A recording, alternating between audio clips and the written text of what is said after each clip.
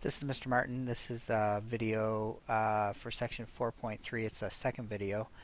Um, so for this video we're going to start out talking about the fundamental trigonometric identities and um, it, it, would be in your best interest to kind of memorize these. Uh, most of them you probably already know. Um, I think the only new ones for you are going to be the Pythagorean identities if you haven't seen those before but really um, you should know the reciprocal identities because um, we talked about those. You know, for example, the um, sine and cosecant are reciprocals, so the sine of theta is equal to 1 over the cosecant of theta. So, um, you know, so take a look at carefully at these. Um, and then over here we've got that the cosecant is uh, 1 over the sine of theta. So, you know, we're just kind of flipping things around there. And then we move over to the quotient identities. And um, you, we know that the tangent of theta is sine over cosine, and the cotangent of theta would be the reciprocal of that, so cosine over sine. Now, um, the Pythagorean identities may or may not be new for you. Um, so the key one here is really this uh, first one. And um, to be honest, this is the only one that I memorize because it's pretty easy. It's sort of like the Pythagorean theorem. It um, except it's just sine squared theta plus cosine squared theta equals 1. and then, um, you know, once you do the derivation of these other two, it becomes pretty straightforward and you can do it rather quickly. Um, so that's what I'm going to show you guys first is um, how to get the second and third uh, Pythagorean identities from the first Pythagorean identity. So what we're going to do is we're going to take the Pythagorean identity, the first one, sine squared theta plus cosine squared theta is equal to 1. And I'm going to divide everything by sine squared theta. So divide that, divide that, divide that. Okay, now I'm going to simplify. So I've got sine squared over sine squared, so that's going to be 1. I've got cosine squared over sine squared. Now we know up here that um, cosine over sine is cotangent. So if we square everything, it still is going to work. So cosine squared over sine squared is going to be cotangent squared theta. And in a similar way, we know that 1 over sine is cosecant, so 1 over sine squared is going to be cosecant squared theta. So you can see in one step, we've got um, the second, or the third actually, the third Pythagorean identity over there. Alright, so now in a similar manner we're going to get the other one. So we've got sine squared theta plus cosine squared theta is equal to 1. And now instead of dividing everything by sine squared, I'm going to divide everything by cosine squared. So divide by cosine squared theta here, here, and here. So sine over cosine is tangent, which would mean that sine squared over cosine squared is tangent squared. So tangent squared theta, anything divided by itself is 1. And 1 over cosine is secant, so 1 over cosine squared is going to be secant squared. And there you have it. So again, once you do this a couple of times and um, you get better at it, you could just derive these and put them at the top of your paper uh, for a quiz or a test, and um, you know it's two less things to memorize. Um, you know, as always, if you have questions, write them down in the margin of your notes and make sure you ask me in class. So let's take a look at how we might use some of these examples to help us solve problems. Um, now, keep in mind that there are usually more than one way to solve a problem, um, but uh, we're going to solve this first one using um, identities so we, we're going to let theta be an acute angle such that the sine of theta is 0.5 and we want to find the values of, this should say cosine, cosine theta and tangent theta because we already have sine theta. Alright, so I'm going to use the Pythagorean identity. I know that sine squared theta plus cosine squared theta is equal to 1.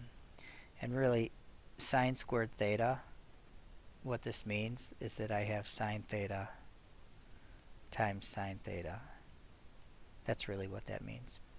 So if I know that sine theta is 0.5, sine squared theta is 0.5 squared plus cosine squared theta is equal to 1. 0.5 squared is uh, 0.25 plus cosine squared theta is equal to 1. Subtract 0.25 from both sides, so I get cosine squared theta is equal to 0.75. And then I'll take the square root of both sides. So I get that the cosine of theta is 0.866 to three decimal places. Now, once I have the cosine of theta, I can find um, the tangent of theta using the quotient identity. Tan theta equals sine theta over cosine theta. So that's going to be 0.5 divided by 0.866, which gives us approximately 0.577. So um, there's other ways you could do this. Again, you know, we could put this over 1, and then we could make a right triangle. Here's theta. I know this is opposite over hypotenuse, so that's 0.5, and that's 1, and then I can find this part of the other leg. Um, you know, but sometimes it might be easier just to use the Pythagorean identities.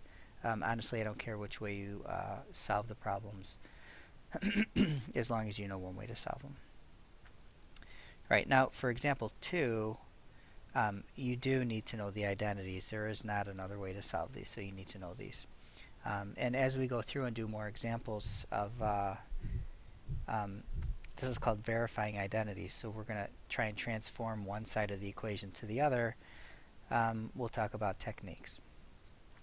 So the first technique is um, take anything that's not already a sine or a cosine and change it into a sine or a cosine.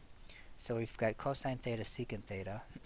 so the cosine theta I'm not going to change, but I am going to put it over 1. And the secant theta, that's equal to 1 over the cosine theta. And if you notice, I'm only going to be working on the left, so I'm going to try and transform the left into the right. And right away you can see that I have a cosine here and a cosine here, so I'm left with, on the left is 1, which does in fact equal 1. And then we'll check that off. Notice my last step here is that I write the two sides are equal and check it to show that I've verified it. Moving on to part B, um, I want to show that all this stuff on the left also equals 1. so the first thing I'm going to do is I'm going to FOIL this out. So I'm going to have secant times secant, so that's secant squared theta. And then secant times minus tangent, so that's minus secant theta tangent theta. And then tangent times secant, so that's going to be plus secant theta tangent theta. And then tangent times minus tangent, so that's minus tan squared theta. So you see these two terms in the middle, those are going to cancel each other out because I have minus secant tan theta and plus secant tan theta. So I'm left with is secant theta, secant squared theta minus tangent squared theta. And um, if you remember, or you look back in the notes, we know that secant squared theta is 1 plus tan squared theta. So I'm going to take this secant squared theta out and I'm going to replace it with 1 plus tan squared theta. So 1 1 plus tan squared theta. So that's the secant part minus tan squared theta. And I have uh, plus tan squared minus tan squared so I'm left with 1 equal to 1 again. So we check that off Alright, moving down, uh, just to calculate a problem. and um, we've done some of these before, but just to reiterate, I know that uh, the cotangent of theta is equal to 1 over the tangent of theta.